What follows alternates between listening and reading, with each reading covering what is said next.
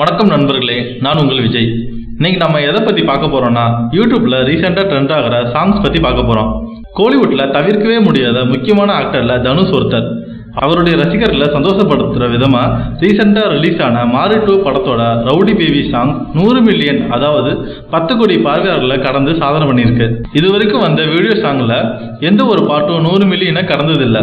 மாரி ஃபர்ஸ்ட் படத்தில் அனிருத் மியூசிக்ல வந்த டானு டானு சாங் தான் அஞ்சு கோடி பார்வையாளர்களை கடந்து சாதனை பண்ணுச்சு. ஆனா அதுக்கப்புறம் வந்த தளபதி விஜய் நடிச்ச மெர்சில் படத்துல வந்த ஆலப்போரான் தமிழன் சாங் தான் ஒன்பது கோடி பார்வையாளர்களை தக்க வச்சு தொடர்ந்து ஃபர்ஸ்ட் பிளேஸ்ல இருந்துச்சு. இப்ப நம்ம மாரி டூல வந்த ரோடு பேபி ஆலப்போரான் சாங்கை ஓவர்டேக் பண்ணி பத்து கோடி பார்வையாளர்களோட ஃபர்ஸ்ட் பிளேஸ்ல இருக்கு. இதுல என்ன முக்கியமான விஷயம்னா தளபதி விஜயோட ஆலப்போரான் தமிழன் சாங் வெளிவந்து பதினாலு மாதங்களாகி ஒன்பது கோடி வியூஸோட செகண்ட் பிளேஸ்லையும் ரவுடி பேபி சாங் வெளிவந்து வெறும் பதினெட்டு நாட்கள்ல பத்து கோடி வியூஸோட ஃபர்ஸ்ட் பிளேஸ்ல இருக்கிறது தான் தனுஷ் ரசிகர்களோட ரொம்ப சந்தோஷப்படுத்திட்டு இருக்கு. மேலும் இது போன்ற தகவல்களை பெற நியூட்ரல் மீடியாவை சப்ஸ்கிரைப் பண்ணுங்க. மறக்காம பெல் பட்டனை கிளிக் பண்ணுங்க.